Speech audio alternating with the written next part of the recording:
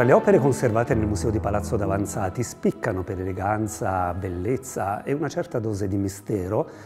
quattro tavole dipinte eh, dal formato inusuale, eh, realizzate intorno alla metà del Quattrocento da Giovanni di Ser Giovanni. Giovanni di Ser Giovanni eh, aveva un fratello, Tommaso, ma meglio conosciuto come Masaccio, uno dei protagonisti del rinnovamento dell'arte in senso rinascimentale nel Quattrocento, insieme a Brunelleschi e Donatello. Entrambi nacquero a San Giovanni Valdarno e si trasferirono per apprendere l'arte del, della pittura qui a, a, Firenze.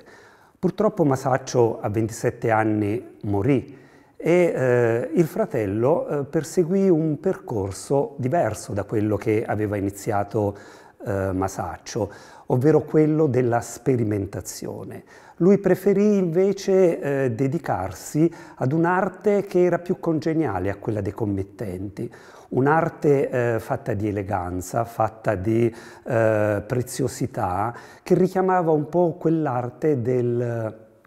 gotico internazionale, del gotico cortese, che si sviluppò in, in Europa tra la fine del 300 e i primi anni del 400. Il eh, tema trattato dal, dallo Scheggia riprende abbastanza fedelmente ciò che scrive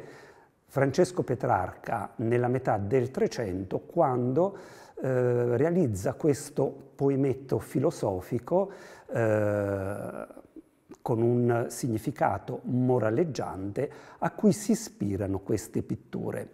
Il tema dei trionfi viene ripreso da, dallo Scheggia, eh, il nomignolo gli viene eh, probabilmente eh, dal fatto che doveva essere sicuramente una persona abbastanza magra, esile, era uno dei nomignoli che i toscani eh, davano a persone di questo aspetto, ma anche al fatto che lui aveva la padronanza nel, nel lavorare il legno. E eh, si diceva appunto che il tema letterario che lo Scheggia riprende, certamente per una committenza eh, molto colta, qualcuno aveva ipotizzato che questi oggetti, prima ho parlato di avvolti in un certo mistero, è perché in realtà a tutt'oggi non conosciamo chi furono i committenti eh, e questo mistero è dovuto soprattutto al suo formato, un formato anomalo, eh, è quasi una forma semi-ellittica, non conclusa, che eh, non ci fa comprendere esattamente il loro utilizzo. Molto probabilmente, eh, anzi quasi certamente, dovevano far parte eh, di un apparato decorativo di un ambiente, probabilmente eh, uno studiolo, eh, anche eh, in ragione del significato colto del, delle immagini che sono rappresentate. Il poemetto del, del Petrarca eh, è un poemetto moraleggiante, ovvero cerca di coniugare il eh, mito classico con il cristianesimo, ovvero di dare un percorso salvifico all'uomo per raggiungere la eh, purezza dell'anima.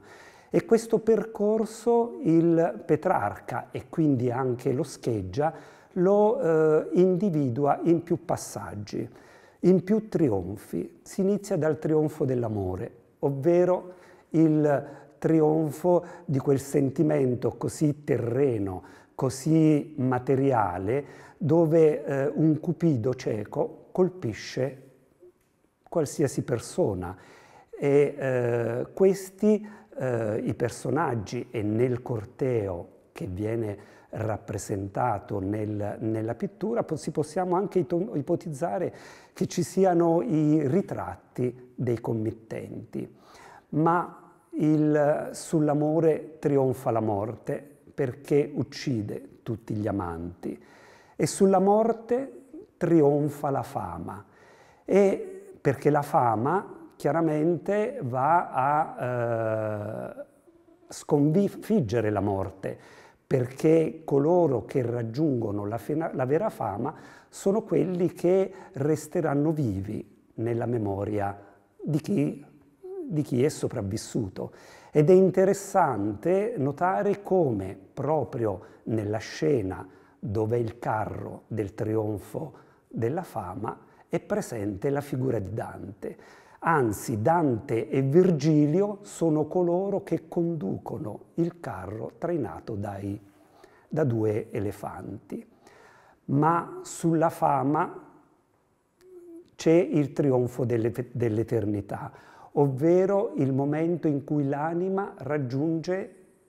il, ciò che era agognato, Dio. E quindi l'ultimo dipinto è quello che eh, ci rappresenta appunto questo luogo, questo non luogo dove né tempo e né morte esistono, ma solo l'eternità.